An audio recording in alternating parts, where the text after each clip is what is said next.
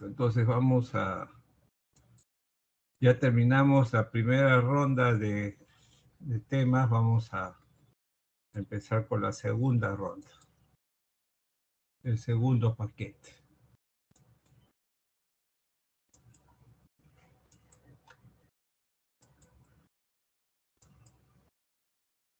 Ajá, ok. Muy bien.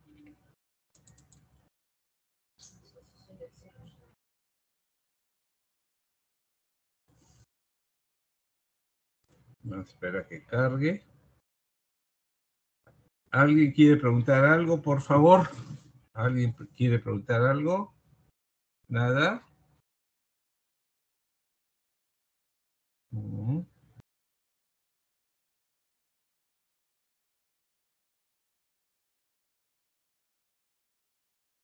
Vamos a esperar que cargue. Ya, está cargando. Muy bien. Entonces, vamos a hablar sobre infecciones en paciente inmunocomprometido, ¿no es cierto? Vamos a hablar sobre el sistema inmune infección, en otras palabras.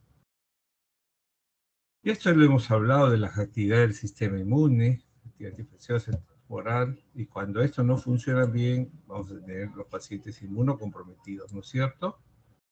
Y acá está una lista de pacientes inmunocomprometidos. No están todos, pero obviamente quizás son los más frecuentes, desde los extremos de la vida, como los neonatos, o los adultos mayores, como los pacientes oncohematológicos o de tumores sólidos, los pacientes trasplantados, hematopoyéticos, o sea, los de médula ósea, los de órganos sólidos, los pacientes que reciben quimioterapia, radioterapia, cirugía, aquellos que, pacientes que tienen enfermedad injerto contra huésped, en los pacientes trasplantados hay dos situaciones,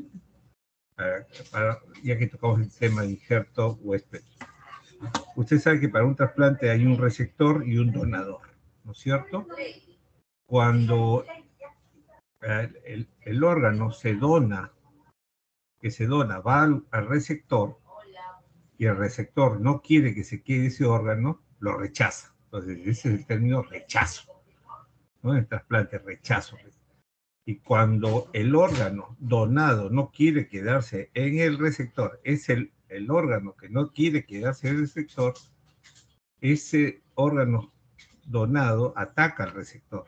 Y eso se llama enfermedad injerto contra huésped. Injerto versus huésped, ¿no es cierto? Entonces, recuerden siempre estos dos términos. Eh, rechazo, que es el, el el, el receptor que no quiere el órgano donado, ¿sí? y enfermedad injerto contra huésped, que es el órgano donado que no quiere quedarse en el receptor. Son diferentes, pero las dos, los dos matan. ¿No es cierto? Y pueden producir también infección. Y eh, facilitar infecciones en los pacientes. ¿Por qué? Porque necesitan uso de drogas inmunosupresoras para controlar esta reacción. Entonces, baja las defensas y predispone infecciones corticoterapia crónica, drogas inmunosupresoras, enfermedades endocrinológicas como diabetes mellitus, hipotiroidismo, enfermedad renal crónica, hepatopatía crónica, la cirrosis hepática, enfermedades autoinmunes, lupus eritematoso sistémico, artritis reumatoidea, malnutrición, desnutridos y obesos, desnutridos y obesos, quemados, etcétera, etcétera. ¿No es cierto? Entre otros. Entonces, también hemos hablado de esto, de la actividad antiinfecciosa con sus tres componentes del sistema inmune, fagocitario, moral y celular, ¿no es cierto? ¿Cuáles son las deficiencias de estas tres líneas, de estas tres componentes del sistema inmune en la, terapia, en la, la actividad antiinfecciosa? Si hay deficiencia fagocitaria, está representado por la neutropenia. Si hay deficiencia humoral, está representado por la agama, hipogama, globulinemia. Y si hay eh, deficiencia en la inmunidad celular, hay la linfopenia T4, ¿no es cierto? Y un paciente inmunocomprometido puede tener más de una deficiencia. ¿Correcto? El, si ustedes ven los pacientes trasplantados, ahí se van a presentar las tres deficiencias que hemos mencionado en el tiempo. los primeros 30 días, los primeros 30 días del trasplante, del trasplante, ¿qué cosa presentan los pacientes? Neutropenia, falla fagocitaria. Entonces, estos pacientes están predispuestos a desarrollar lo que llamamos las bacterias extracelulares no capsuladas y los hongos levadoriformes y filamentosos. Entonces, miren, paciente neutropénico en la falla que tiene bacterias extracelulares no capsuladas, ya sean cocos gran positivos, gran, bacilos gran negativos, hongos levadoriformes como eh, cándida y hongos filamentosos como aspergillus, ¿no es cierto? Como ejemplo. Entonces, bien importante. Después de los 30 días, el paciente trasplantado recupera de la falla fagocitaria, pero tenemos falla celular y falla humoral, que está desde el principio, pero no juega todavía un rol tan importante. Después de los 30 días, esta eh, deficiencia de inmunidad celular celular se acentúa, pero sobre todo la celular. Por eso, ¿qué cosa decíamos en la celular? Intracelulares y algunos extracelulares. ¿Y cuáles son los representantes de los intracelulares? Los virus. Entonces, a partir de aquí, son los virus, sobre todo los virus, los que nos complican la vida, eh, complican la vida de los pacientes trasplantados. ¿Correcto? Y después de 100 días, después de 100 días, después de 100 días, la inmunidad, la, que se, digamos, acentúa la, la disfunción es de la inmunidad humoral. Entonces, ¿qué aparecen? Los microorganismos encapsulados, bacterias encapsuladas, que ya vamos a mencionar. Entonces, ¿cuál es la moraleja de esto? es importante saber cómo, es cómo funciona la actividad antiinfecciosa, cómo se dividen los componentes, cada uno de estos componentes, qué tipo de agentes infecciosos hay, cuál es su deficiencia, cómo se denomina, y cómo saber detectarlas. ¿Se acuerdan que hemos hablado de un hemograma para ver recuento absoluto de, o, pedir recuento absoluto de neutrófilos, eh, el dosaje sérico de inmunoglobulinas y el recuento en CD4, el linfocito CD4 en sangre periférica, ¿no es cierto?, para ver inmunidad celular. Entonces, saber en qué momentos eh, están más fuertes estas deficiencias en los trasplantes, por ejemplo, en los primeros 30 días sabemos que neutropenia, los de 30 hasta 100 días, más de 30 días, 100 días, esta depresión celular. Por lo tanto, vamos a tener mucho intracelular y, y después de 100 días más humoral. No quiere decir que no tengan de las otras, porque si ustedes se dan cuenta, la inmunidad celular y humoral está en todos los, en estos tres momentos, ¿sí? Pero por frecuencia, por frecuencia uno va a decir fagocitario, celular y humoral, ¿ya? Está claro la explicación, por favor, es muy importante, muy importante. Kajumu, ¿por qué llegaste tarde? Bueno, tiene que avisar. ¿Por qué entras sin permiso? Si has llegado tarde. ¿Por qué has llegado tarde? Es igual. O sea, imagínense que estamos en un aula. Usted no puede entrar sin permiso del profesor si llega tarde, ¿no es cierto? Sí, doctor, disculpe. ¿Por qué llegó tarde? Mm, bueno, tenía un problema en la mañana, no podía conectarme temprano. Mm. Ok. Pero tiene falta, recuerde. Entonces, ¿está claro lo que hemos, hemos explicado? Entonces, el tipo de agente infeccioso responsable de infección e inmunocomprometidos dependerá de el tipo de inmunocompromiso, el tratamiento impartido y el aspecto epidemiológico. Entonces, si yo enfrento a un paciente inmunocomprometido, ¿de acuerdo? Mi primera pregunta es, ¿qué tipo de inmunocomprometido es? Fagocitario, humoral celular combinado. Y si luego es infeccioso o no infeccioso. Lógicamente, si es inmunocomprometido, siempre lo infeccioso va a ser lo más importante, sin dejar de lado lo, lo no infeccioso. Entonces, para saber qué agentes son los que podrían estar participando, ¿no es cierto? Siempre diría, es, tiene relación con la inmunidad, o sea, con su falla inmunitaria o con factores, y qué factores extrainmunes también están jugando ahí. ¿Se acuerdan que discutimos en las clases anteriores? Entonces miro, el inmunoconvertido, ¿qué falla tiene? Fagocitaria. Entonces, por norma, la, la fagocitaria tiene que ser bacterias extracelulares no capsuladas y hongos levadores y filamentosos. pero también podría estar jugando factores extrimunes que tengo que analizar, ¿no? Si tiene catéter central, si tiene catéter urinario, si acaba de venir de viaje a la selva, en fin. si tiene comportamiento sexual de riesgo, ha tenido contacto con trabajadoras sexuales sin protección, cosas así. Entonces, depende del tipo de del tratamiento impartido.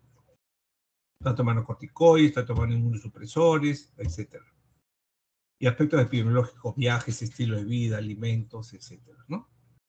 Ambiente, si está hospitalizado o no, si ha viajado al norte, al sur, etc. Entonces, bien importante, estos tres parámetros para, reducir, para ir reduciendo potenciales agentes infecciosos. Y saben que es un paciente inmunocomprometido y que tienen que actuar rápido, ¿no? Entonces, ¿qué hay componente fagocitario? Los neutrófilos son la primera línea de defensa, recuerden.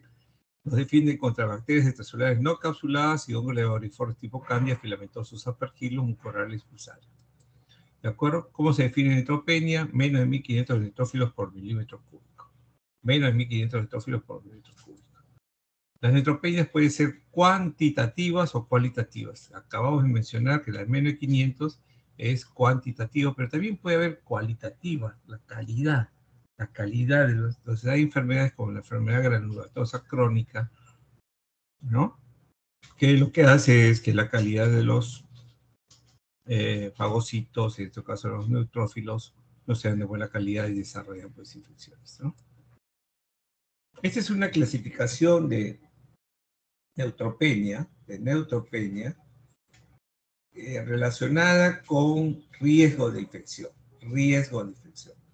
Entonces yo tengo neutropenia significativa menos de 1000 neutrófilos por milímetro cúbico, quiere decir que ya tengo riesgo de infección, un mayor riesgo de infección. Si yo tengo neutropenia severa o grave, 500 o menos, mi, mi riesgo de infección es mucho mayor. Y si yo tuviera fiebre yo tuviera, o tuviera un foco clínico, esa fiebre o ese foco clínico sería mayormente de origen infeccioso y debería asumirlo como tal. Y si yo tengo entropía muy severa o profunda y tengo 100 o menos, 100 este, o menos, 100 neutrófilos o menos, significa que el bicho está en sangre, que se ha profundizado, ¿no es cierto? Que ya, eh, digamos, de piel o de pulmones o de un órgano ya pasó a sangre, pues ya pasó a sangre, entonces ya es sistémico, ¿no? ¿De acuerdo? Entonces, es muy importante eso. Entonces, el tener neutropenia, el tener neutropenia es riesgo de infección, métase en la cabeza. Ser neutropénico, riesgo de infección. Dependiendo del tipo del nivel de neutropenia que tengamos, la eh, infección va a ser cada vez más grave, más invasiva, más invasiva, ¿no es cierto? Sobre todo si ya tiene neutropenia severa o grave, y, si hace fiebre o tiene foco, eso va a ser infeccioso hasta que se demuestre lo contrario.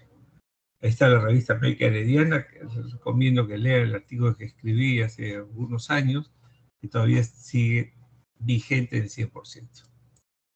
Entonces, en el caso de pacientes con cáncer, por ejemplo, el riesgo de desarrollar fiebre durante un curso de quimioterapia varía entre 40 y 70%, 50%, 55%. Quiere decir, de cada dos pacientes, de cada dos pacientes que le dé quimio, por lo menos uno va a ser fiebre.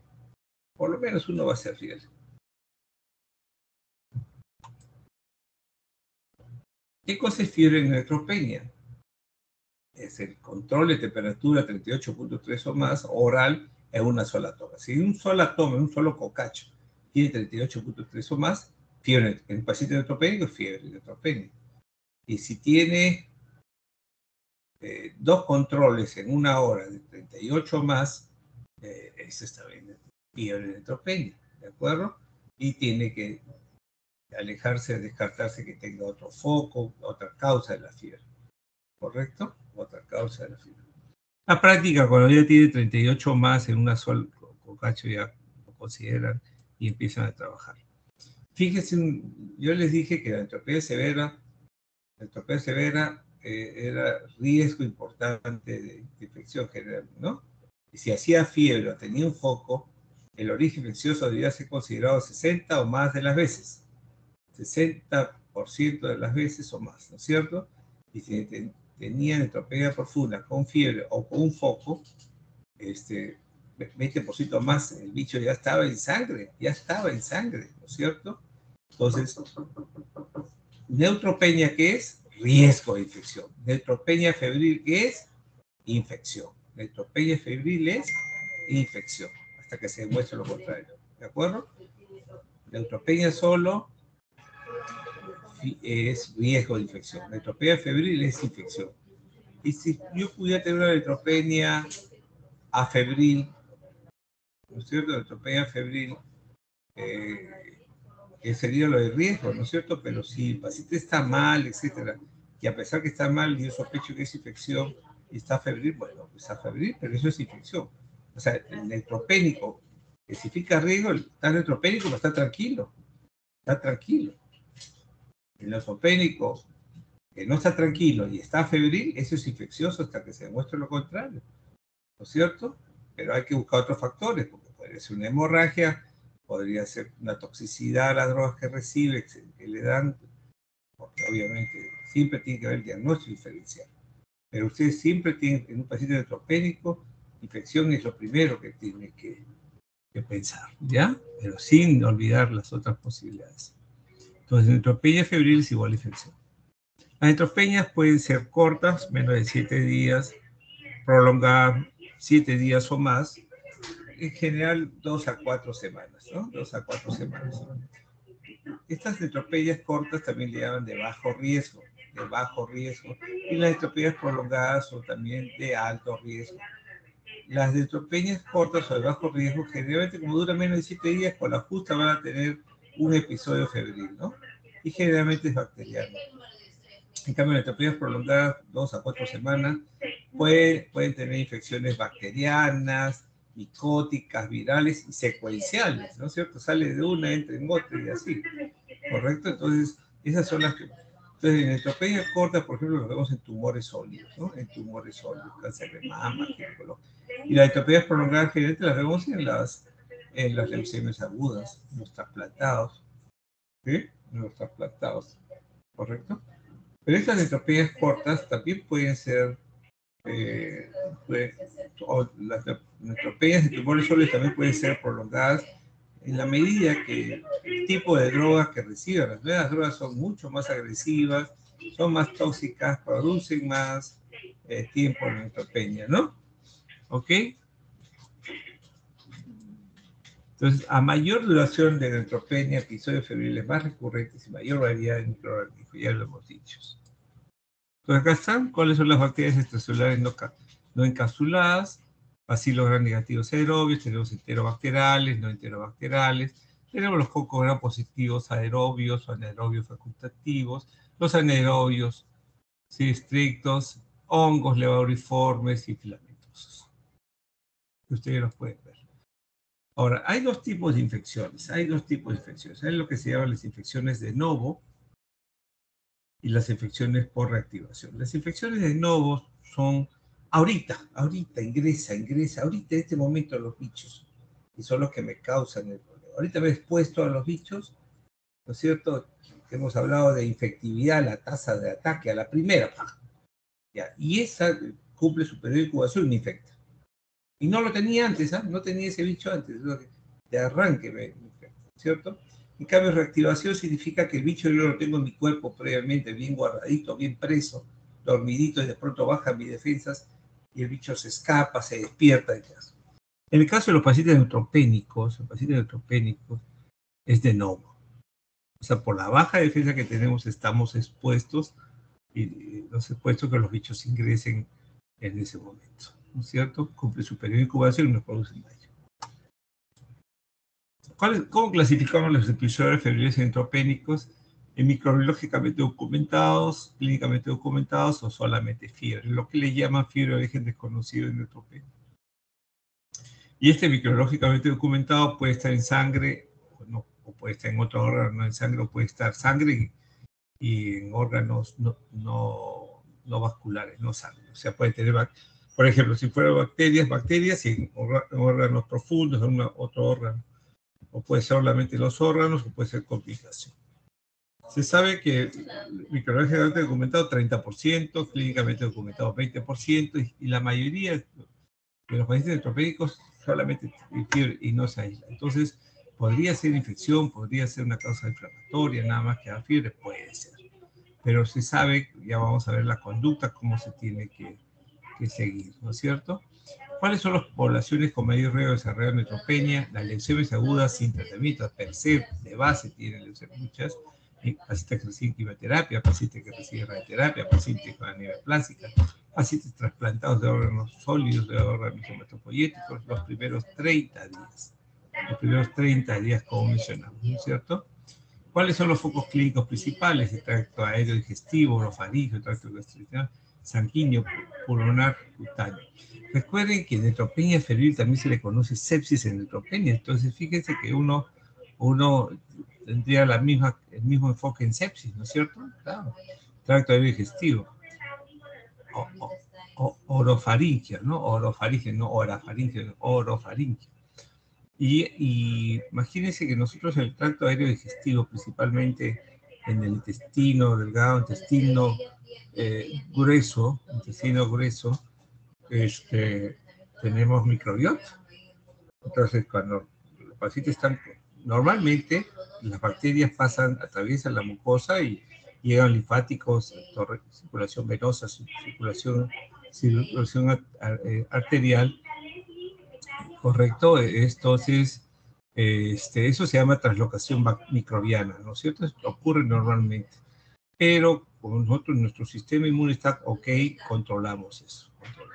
Pero el paciente neutropédico no tiene ya esos neutrófilos, entonces y si un paciente con cáncer recibe quimioterapia e inflama la mucosa, esa mucosa inflamada intestinal eh, eh, irrita a los bichos y los bichos aumentan su translocación microbiana y pueden causar el pase y usar las bacterias, las fungemias, el punto de partida gastrointestinal, ¿no es cierto? También otros focos son los sanguíneos, el pulmonar, el cutáneo.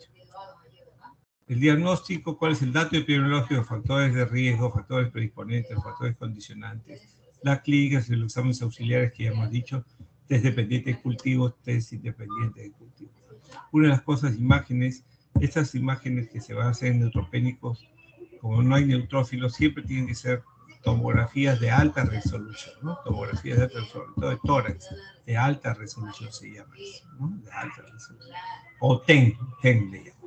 Fíjense que la primera semana de neutropenia son generalmente infecciones bacterianas, en la segunda semana son infecciones por leoriformes, candidiasis invasor, y más de dos semanas infecciones filamentosas, aperquilosis y más.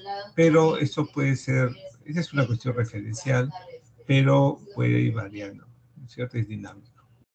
Miren, esta es una infección de partes blandas, es un paciente neutropénico, no está muy rojo como quisiéramos, o estas lesiones que ocurrieron en pacientes neutropénicos, que si no, no se, trata, no se trataba, miren cómo terminó, por no tratarlo. O estos son estimas, son émbolos sépticos que son disparados a alguna parte del cuerpo. O mira, como si gran quemado, no una olla caliente, no.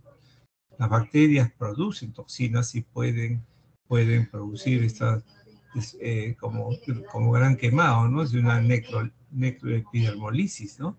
Entonces las bacterias también tienen esa capacidad o la inflamación del intestino, que hablábamos, la inflamación del intestino que aumenta, eh, la, la, translocación microbiana. Esta es una enterocolitis eh, neutropénica, Vienen son asas gruesas porque ven las, las austras, ¿no? Las austras, ¿correcto?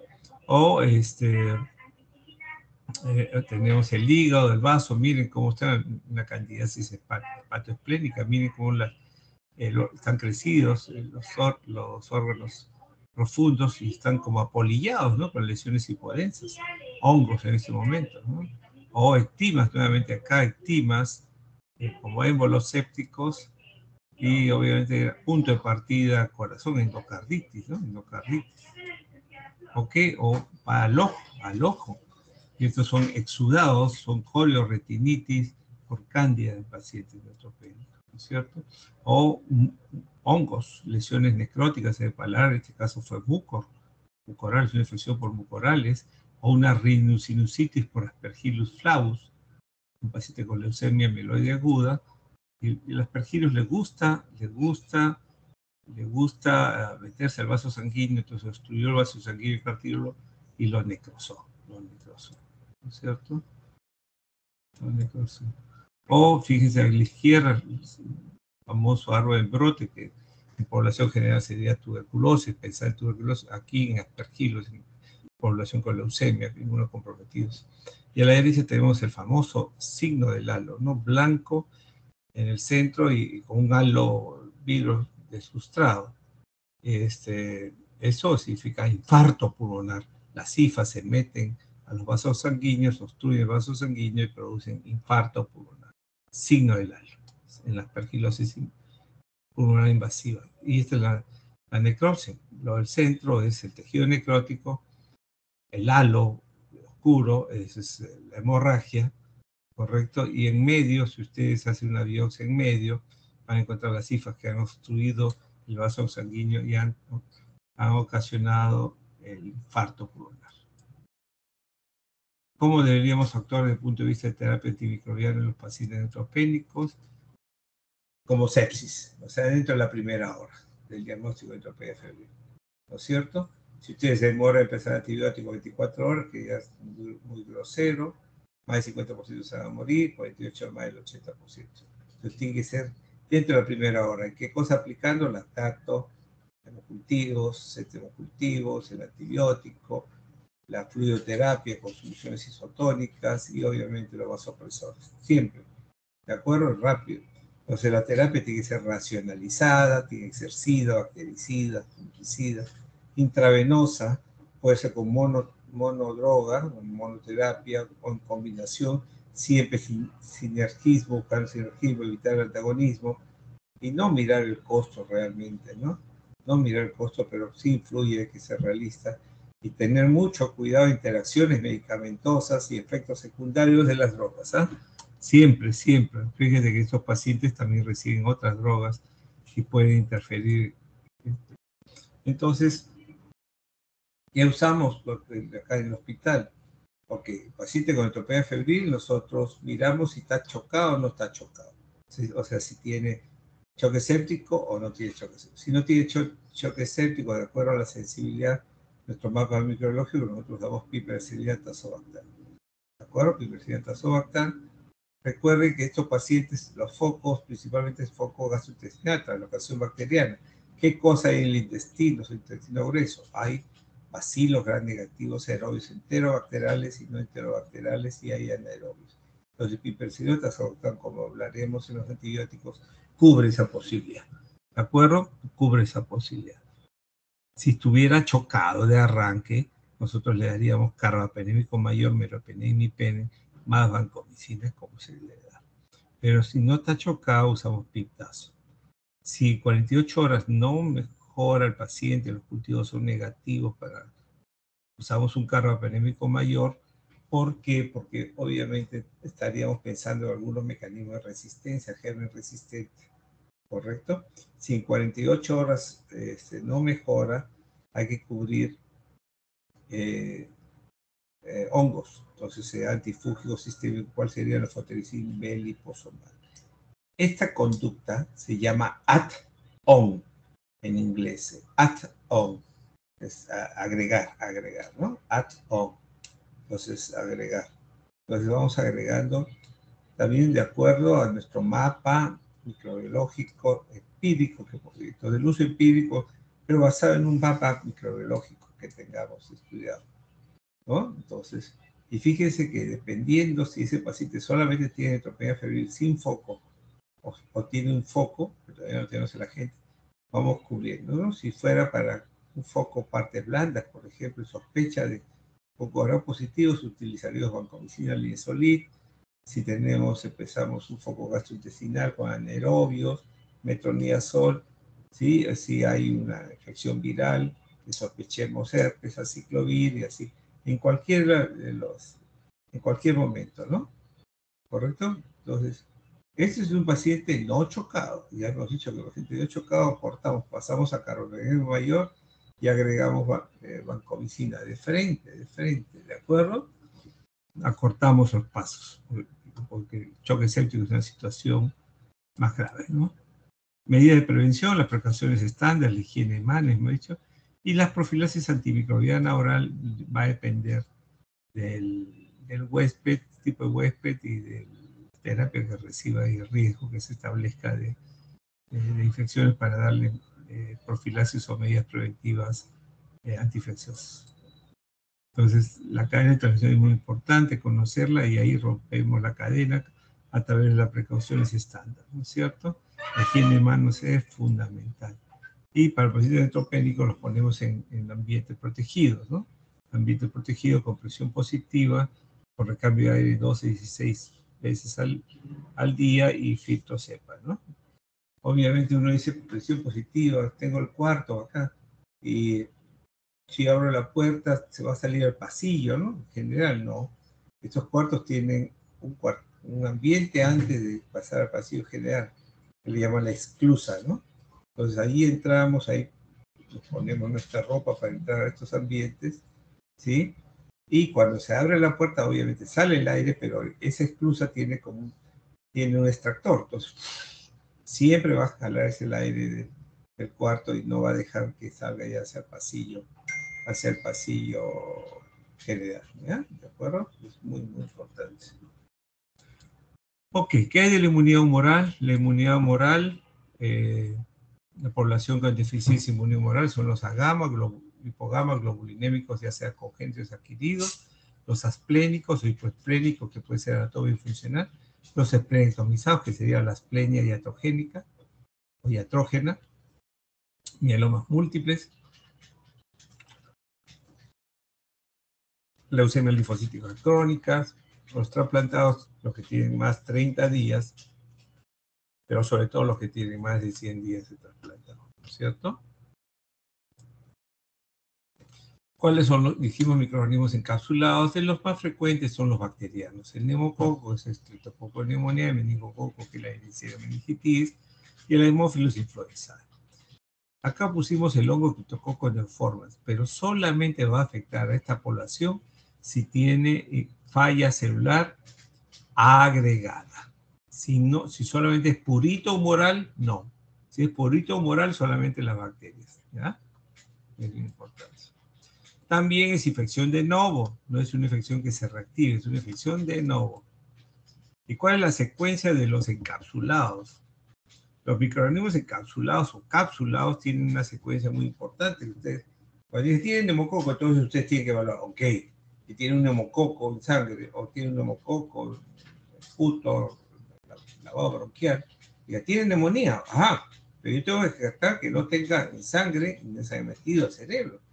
Entonces, en sangre los cultivo, si el cerebro le voy a hacer la función lumbar, o lo evalúo, lo miro, ¿cierto? O tengo que hacerle punción lumbar, porque no es lo mismo tratar una neumonía, la dosis de neumococo, a, usar este, para, para Entonces, yo tengo que estar, no voy a esperar que tenga sino meningio para decir, ah, sí, no le la dosis, no, no. Tiene que descartar. Entonces, todo encapsulado tiene esta secuencia. Pulmón, sangre y sistema nervioso central, es decir, neumonía aguda, bacteremia y mecaguda, ¿no? Meningocefalitis. ¿Por qué ven crónico? Porque es en el caso del criptococo, ¿no? Si fuera criptococo, neumonía crónica, fungemia y mecrónica. ¿Por qué diferencia hay entre agudo y crónico? El, la plocitosis, o sea, el aumento de la célula del líquido cefalorraquídeo, es a predominio neutrocítico en la aguda y a predominio linfomonocitario eh, la crónica. Y por eso se llama meca agudo, meca por el tipo de célula eh, inflamatoria en el, en el líquido aquí. El dato epidemiológico es muy importante, cuadro clínico, los exámenes auxiliares, ¿no? ¿Ok? Pero yo coco no, no debería estar ahí, porque no es lo más frecuente, debería haber una placa de, con una neumonía adquirida en la comunidad por neumococo, por ejemplo. ¿Ok? La terapia antimicrobiana, ya hemos dicho, entonces ustedes podrán deducir con lo que hemos explicado, que tendría que ser un antibiótico que sea activo contra los microorganismos encapsulados y que concentre bien en, en pulmones, en sangre y que atraviesa barrera hematocefálica y que cubre los tres microorganismos. Entonces, cefalosporina de tercera generación sextraxone es la, la, la más adecuada. Si solamente es neumococo, cubrimos con penicilina gesoica, siempre cuando sea sensible a penicilina, ¿no? Y así. Entonces, tenemos que buscar, eh, recuerden que penicilina gesoica no le pega ni, a Neisseria meningitis, ni le pega a Hemophilus influenza, por lo tanto, eh, si no tenemos el germen y pensamos que es un encapsulado y estamos esperando, podemos dar. Recuerden que el cestraxone, cestraxone para una neumonía damos 2 gramos, pero para una meca aguda damos 4 gramos, ¿cierto? Entonces, por eso es que hay que hacer la evaluación. Tomen una plaquetora, hacemos cultivos y meten en la aguja una PL para ver que, no, sea, no, no haya ahí, se, se haya metido al sistema nervioso central. La medida de prevención, siempre aquí, son importantes la profilaxis antimicrobiana para algunas escuelas, darle antibiótico oral, pero lo más importante es vacunación. Estos pacientes deberían ser, todos deberían ser vacunados mucho antes nosotros, vacunas contra hemococo, vacuna contra hemófilos influenza, vacuna contra meningococo y además vacuna contra el virus de la influenza, porque la influenza bien patero llama a las otras bacterias, entonces esas cuatro debería, debería recibir siempre y precauciones estándar, ¿no? La higiene de manos fundamental. Y la inmunidad celular, que es el comandante general de defensas, en la población de deficiencia de inmunidad celular tenemos los linfomas, que puede ser Hodgkin o Hodgkin, eh, corticoterapia crónica, pacientes con VIH-Sida, drogas inmunosupresoras, trasplantados, días más 30, pero sobre todo eh, entre el día 30 y, y 100, ¿sí? los microorganismos relacionados con deficiencia celular, tenemos intracelulares, bacterias, virus, hongos, parásitos, y extracelulares que hemos dicho, por ejemplo, ectoparásitos, por ejemplo, el mintos, ¿no? Entonces ahí estamos hablando, aquí lo ven, bacterias como salmonella, tifino, tífico, bacterias tuberculosa, tuberculosa, listema, estógenes, todos los virus, los hongos levodiformes, endémicos y y neumocitis los endoparásitos, los soplamagondi y los extracelulares, ¿no? Los extracelulares. Que hemos mencionado. Aquí sí, las inmunidades, las infecciones en deficiencia inmunocelular son tanto de novo como reactivación. Dependiendo del agente infeccioso, predomina más reactivación que no, el caso de tuberculosis, por ejemplo. ¿no? El diagnóstico siempre es el dato epidemiológico al clínico del examen sensorial, no se olvide.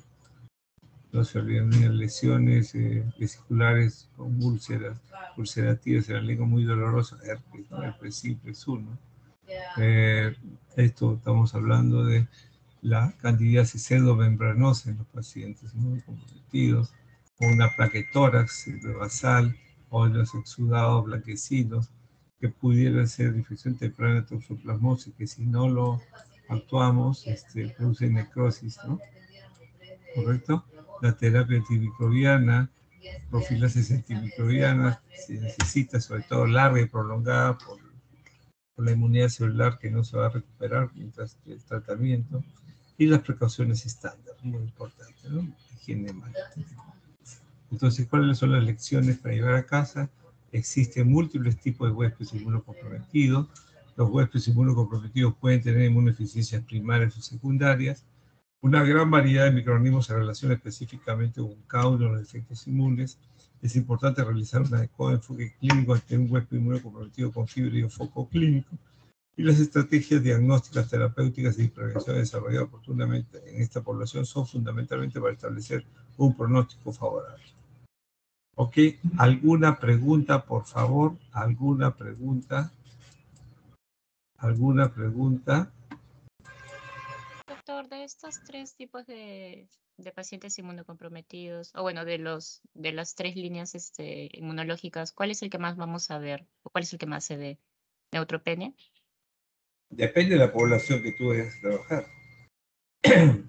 si tú eres un paciente oncológico, vas a trabajar eh, trasplantes, los neutropénicos vas a ver, sobre todo neutropénicos, ¿no? Pero no tan lejos van a estar los humorales ni los celulares. Si tú estás en una población hospital general y, ves pacientes con VIH, son celulares, por ejemplo, ¿no?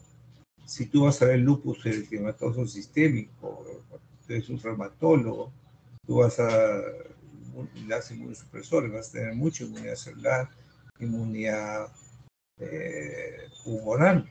Si tú eres un cirujano que, te gusta cirugía de abdomen, sacas vasos, etcétera, inmunidad humoral, ¿no es cierto? Y así. O sea, vamos a ver de todo. Y, la frecuencia se va a ir dependiendo de lo que nosotros escojamos para hacer, para hacer nuestra carrera médica. ¿Está claro? Que tenemos que estar preparados para todo. Sí, doctor. Ok. ¿Alguna otra pregunta? Doctor, ¿y de todos ellos cuál es el que tiene peor pronóstico? Todos. Si no actuamos, si no hacemos bien las cosas, cualquiera de ellos, ¿no es cierto?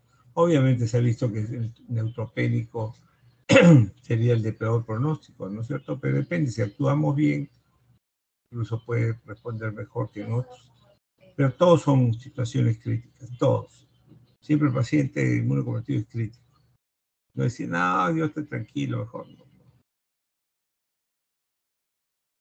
¿De acuerdo? ¿Aló? ¿Otra pregunta?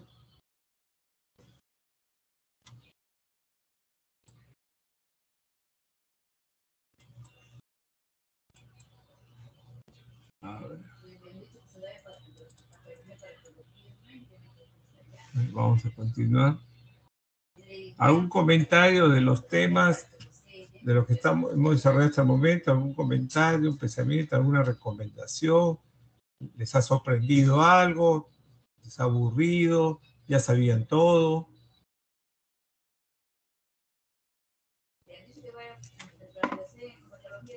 Delegada, ¿qué quiere decirnos? Bueno, eh, bueno, doctor, las segundas clases brindadas por usted sí, sí han estado entendibles. Eh, de todas maneras, eh, como han sido clase tras otra, de todas maneras quizá es un poquito denso, pero de, de todas formas ahí como ya están las grabaciones, vamos a estar revisándolas. Muy bien. Ok. Listo.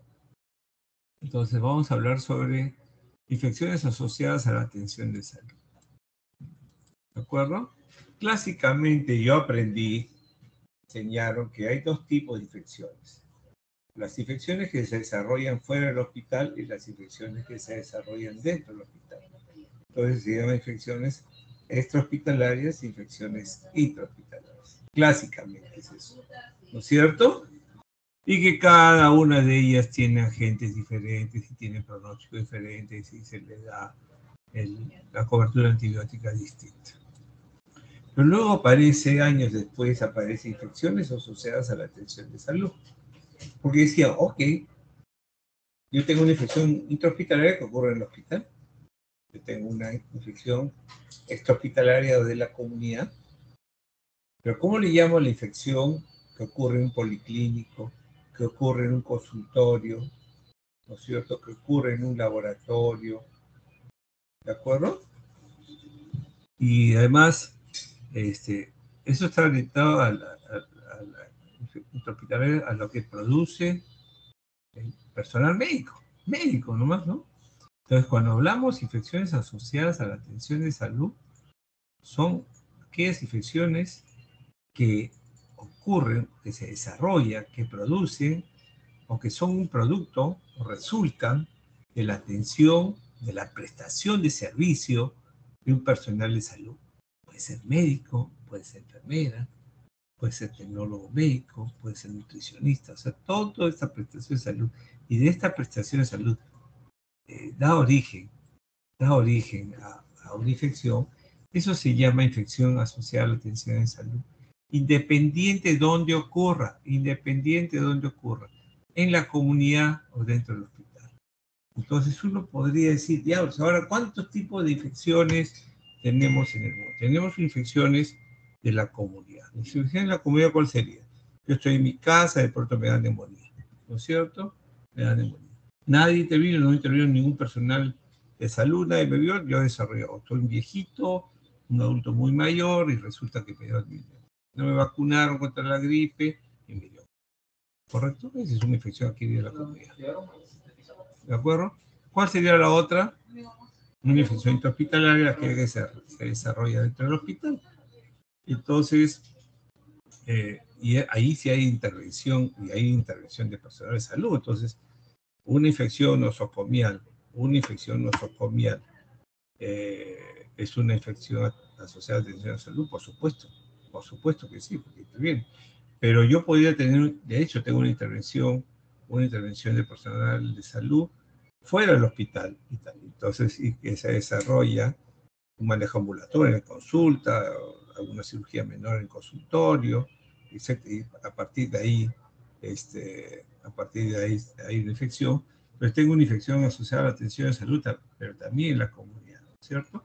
Entonces, yo tengo, yo tengo mis infecciones, eh, mis infecciones de la comunidad, comunitarias, adquiridas en la comunidad, tengo mi, tengo mi infección tengo infección de la comunidad que no interviene nadie, no hay personal, solito me da.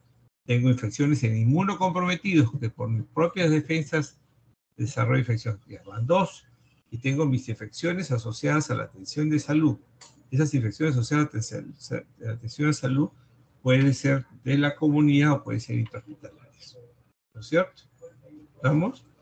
Entonces, Frente a eso, mucha gente, y ustedes van en las muchas publicaciones, ponen infecciones asociadas a atención de salud, pero solamente van a mencionar hospitalarias. Por eso que la infección intrahospitalaria y las infecciones asociadas a atención de salud las ponen como sinónimo, como sinónimo, como si fueran lo mismo. Pero no es así porque hay infecciones asociadas a atención de salud que se adquieren fuera del hospital, en un policlínico, en un consultorio, ¿no? Entonces, ese es el asunto. Y por ahí alguien me podría preguntar, ¿cómo definimos una infección intrahospitalaria? Una infección intrahospitalaria lo más común es que cuando el paciente ingresa al hospital, luego de 48 horas de haber ingresado al hospital y no tener de haber descartado algún periodo de incubación de alguna infección, desarrolla una infección y este, que no la tenía antes de llegar a casa, desarrolla, o sea, lo adquirió ahí, 48 horas, ¿no? Y algunos dicen hasta 30 días después de la dependiendo del microorganismo que estemos hablando. ¿Eh? ¿Correcto? ¿Ok? ¿Está claro, por favor? ¿Está claro? Sí, doctor. Eh, sí, doctor. Muy, bien. Ok. Dice que el 5 10% de los pacientes egresados de centros de internamiento de agudos o sea, los hospitales adquieren una o más IAS en los países desarrollados. IAS o infecciones nosocomiales o infecciones intrahospitalarias. Porque hay intervención del personal de salud, recuerdo. Eso en países desarrollados. Y entonces, en países en desarrollo como el nuestro es el doble.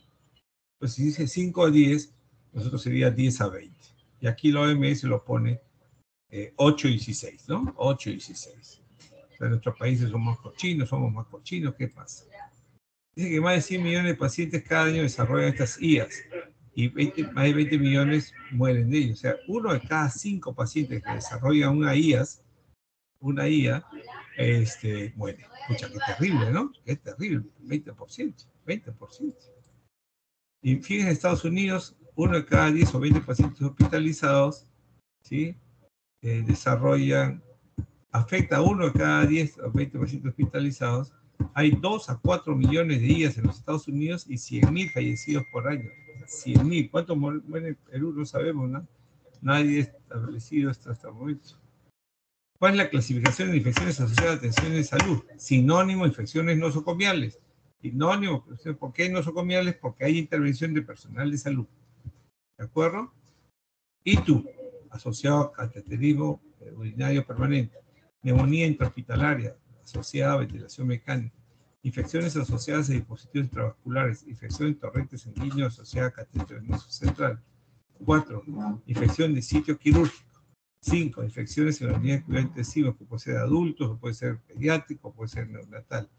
Sexto, infecciones de áreas especiales, oncohematológicas, trasplantados, quemados. Diarrea nosocomial, tuberculosis nosocomial, infecciones de sangre derivados, infecciones fúngicas invasoras, infecciones virales, infecciones, eh, infecciones endometriales o ginecostétricas, etcétera, etcétera. Hay un dato que me estaba olvidando para hacer un comentario. Por ejemplo, hoy día, hoy día, va un paciente a consulta ambulatoria y le hace una biopsia de, de ganglio en el cuello, por ejemplo, ¿no? Sacan biopsia de ganglio y regresa 24 horas después con pus en el herida, con pus en el herida. No tiene, 40, no, no, no, tiene 48 horas, no tiene 48 horas de, de estar hospitalizado, nada, no sé, no tiene 48 horas de estar hospitalizado. Eh, en cirugía no cumple eso. Todo lo que tenga que ver con cirugía no cumple ese concepto de 48 horas, ¿de acuerdo? Puede tener menos. Y eso es una infección asociada a la atención en salud y es una infección eh, nosocomial. Pero si fue en un consultorio externo, entonces es una IA adquirida en un no hospitalario, en un ambiente no hospitalario, ¿cierto? Pero es una IAS. ¿Ok? Y eso es bien importante. Eso también tiene que ver mucho, pues, que medir estas infecciones son complicaciones, son efectos de una mala intervención, ¿no? De una mala intervención. O sea que hay que buscar calidad de atención, ¿no? De la, lo que se llama la seguridad del paciente, ¿no? Nosotros, por eso que se, se vigila eso se estima que aproximadamente 50%, el 50% del total de las sillas ocurren en los cuidados, cuidados, intensivos, donde se hacen todos los procedimientos. Por eso más del 80% cuando se consideran las infecciones asociadas a dispositivos. Entonces, ¿por qué? Porque las UCI son donde hay la mayor intervención, procedimientos, etc. ¿no? Los afectados somos todas las personas comunes, ¿no es cierto? tanto personal de salud como los pacientes y las visitas que van a hospital. Más del 21% de las IAS son causadas por patógenos resistentes, o sea, ya sabemos que una de cada 20 personas, una de cada, una, el 20%, el 20% o sea, uno de cada cinco personas que adquieren una infección, una IAS, eh, acá, acá se va a morir, ¿no es cierto? Se va a morir y encima muchas veces va a ser germen resistente. Algunas, este es un acróstico para que se acuerden cuáles son los agentes más frecuentemente involucrados en las infecciones por IAS. Escape, ¿no? Enterococo faecium, Staphylococcus aureus, Clostridium difficile, Acinetobacter baumannii, Pseudomonas originosa y las enterobacterias, enterobacteriales, Echerichia coli, Helicobacter, Proteus. Entonces, fíjense que esto puede ser enterococo, vancomicino sensible, vancomicino resistente, faecio ya sabemos que 75 más son resistentes, estafilococo, pues oxacino sensible, oxacino resistente, clostridio sensible a metronidazol o a vancomicina o resistente a vancomicina, cinetobacter baumannii, eh, eh, productora de carrapenemasa, pseudomonas derivada productora de carrapenemasa, enterobacterias productoras de BLE, productoras de KPC. Entonces, recordar recordar qué tipo de microorganismo tenga, tenemos en nuestras instituciones o donde vayamos a trabajar para saber cómo se transmite. La gran mayoría de estos son por contacto, entonces la higiene de manos, el uso de barreras nos, nos ayudaría mucho. ¿no? Acá tienes otro acróstico, se llama AMPCES, que son cefaloporinasas, AMPC, ¿no? aeromonas, morganela, proteoprovidencia patoea, Citrobacter, Enterobacter, Serratia, ¿no? Los AMSES. Eh, en, en, la literatura anglosajona, este AMSES le ponen MySpace, MySpace, mi espacio, porque le falta la Y. La, y la Y es de la. Yersinia enteropolítica. También tenemos microorganismos que son conceptos como multidrog resistentes, extensamente resistentes y pan resistentes. Y últimamente hay una definición que se llama eh, microorganismo de difícil tratamiento, que es una combinación de estos tres. Entonces les dejo como tarea cuando definimos multidrog resistente, extensamente resistente, pan resistente y microorganismos de difícil tratamiento. Son cuatro conceptos que ustedes tienen que manejar, ¿no? La OMS declara, recién en 2017 se da cuenta que la resistencia no está comiendo con zapatos y tos, y entonces comienza a recomendar sus prioridades para el, para el, el manejo y la investigación de drogas, que se dan cuenta que no hay antibióticos para gérmenes multiresistentes, ¿no? La prioridad uno son las Cinetobacter baumannii y la pseudomonas aeruginosa, resistentes a carbapenem, y los enterobacteriales resistentes a carbapenem, resistentes a cefalosporina de tercera generación, son productoras de blé. Y así hay prioridad 2 y prioridad 3. ¿No es cierto? Los mecanismos simáticos.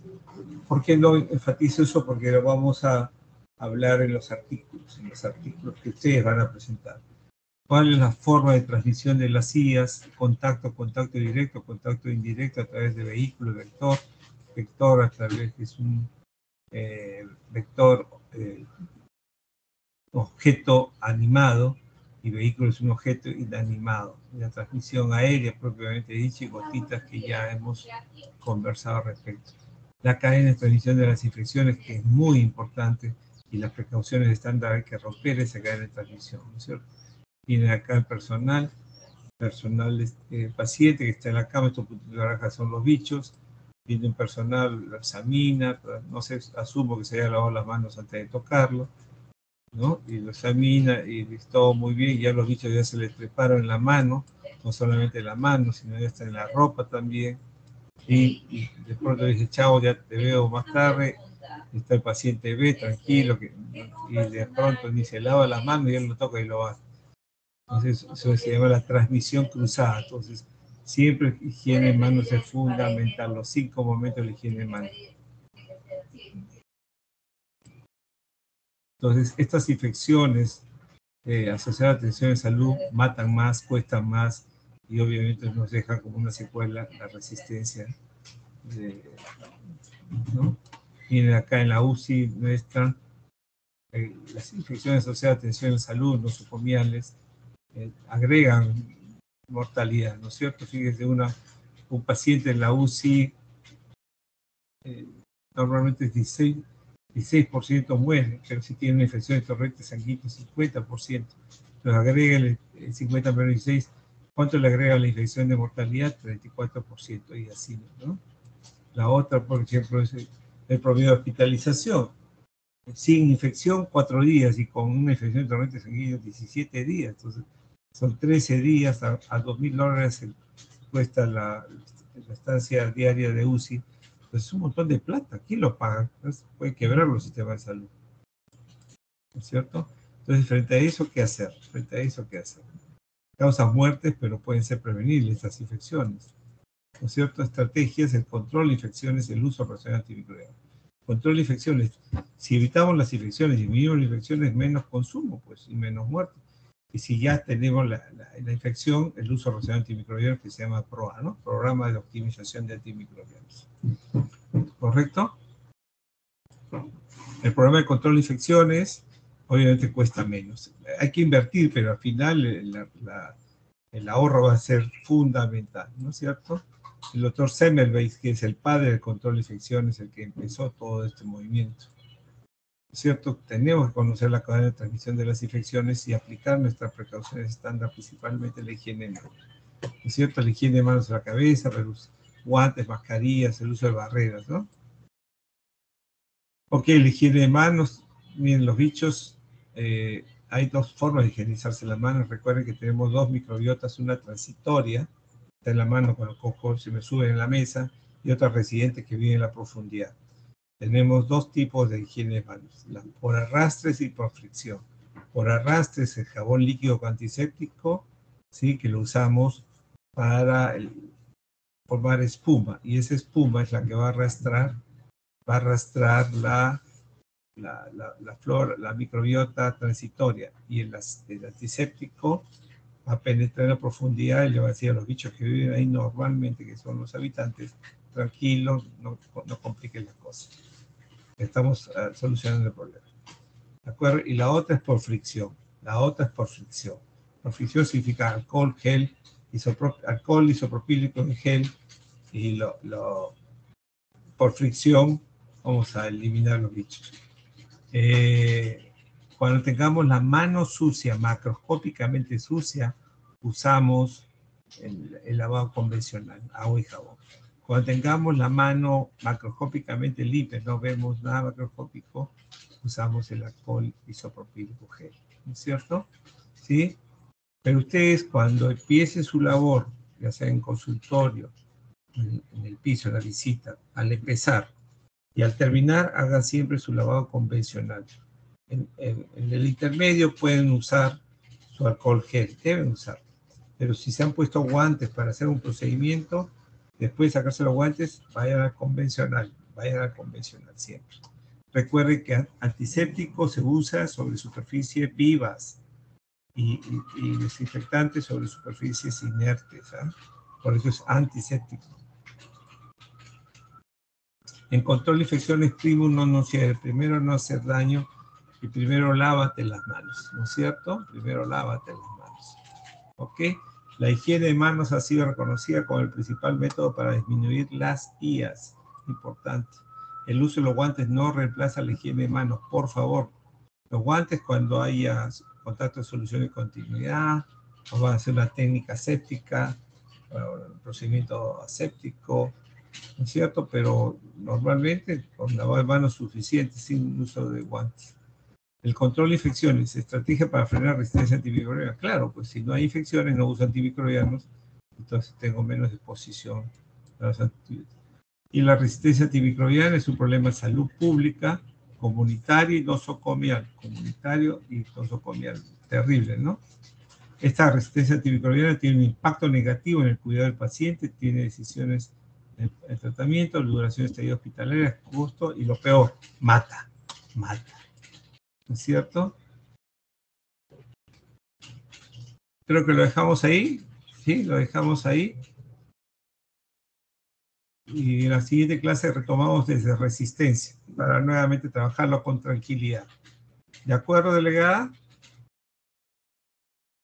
Sí, doctor. ¿Aló? Sí, está bien. Estamos, estamos bien, ¿ah? estamos bien. Estamos bien. La- el jueves que retomamos las clases este, conmigo, vamos a terminar ya el segundo paquete de información. Después el viernes ya hacemos el tercer paquete y el, el- el martes, siguiente martes acabamos las teorías, entonces vamos a tener tiempo para hacer tranquilamente nuestras revistas de revistas y nuestros casos clínicos. Ya vamos avanzando los casos clínicos que hemos que ya se subido en esto, entonces vamos ahí a agarrar, agarrando can- cancha y ya cuando hagamos las evaluaciones va a ser mucho más fácil. Ok, doctores, entonces nos vemos el día jueves, Dios mediante. Gracias. Gracias. Muchas gracias, doctor. genial. doctor. Gracias, doctor. Hasta luego.